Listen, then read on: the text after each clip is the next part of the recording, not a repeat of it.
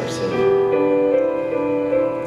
Let's stand together and give honor to Him for His sacrifice and for His resurrection.